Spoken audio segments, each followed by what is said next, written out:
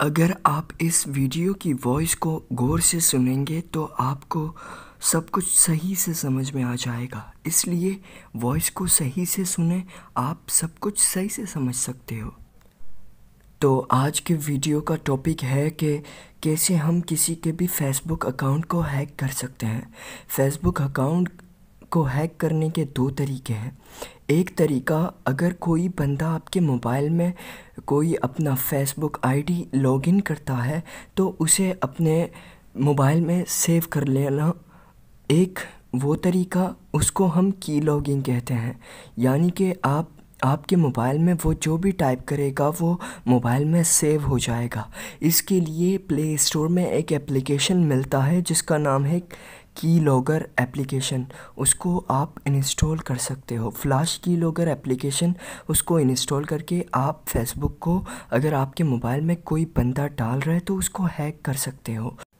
और दूसरा तरीका ये है कि आप फ़िशिंग पेज बना सकते हो। यानी कि अगर फेसबुक आप किसी का हैक करना चाहते हो तो फेसबुक के लॉगिन इंटरफेस, यानी कि जो जिस इंटरफेस यानी कि जो हम लॉगिन करते वक्त जो हमें दिखाई देता है, ऐसा ही ऐसा ही इन्वायरमेंट हम क्रिएट करके उस बंदे को, अपने विक्टिम को एक लिंक सेंड करेंगे। लिंक सेंड करने पर अगर वो अपना पासवर्ड और अकाउंट डालेगा तो आप उसके फेसबुक आईडी को आसानी से हैक कर सकते हो।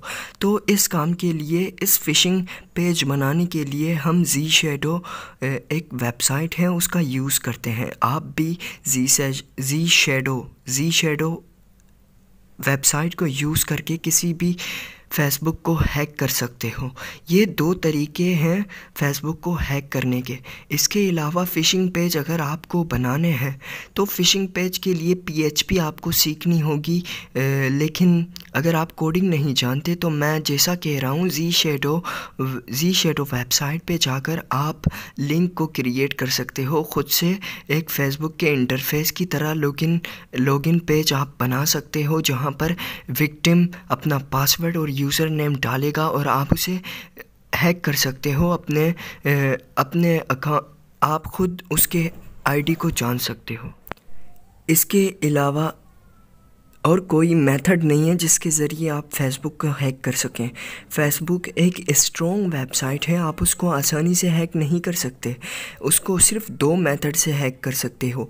एक आपके मोबाइल में अगर इंटर करे तो हैक कर सकते हो। दूसरा, अगर वो ख़ुद आपके बेचे हुए लिंक के वेबसाइट पर अगर पासवर्ड डाले तो उसको हैक कर सकते हो। इसके अलावा तीसरे, तीसरा तरीका यह है कि अगर आप ख़ुद से कोई रैंडमली पासवर्ड इंटर करते हो और वो करेक्ट हो जाए तो वैसे में भी आप फेसबुक हैक कर सकते हो। इनके सिवा कोई भी तरीका नहीं है फेसबुक को आसानी से हैक करने का।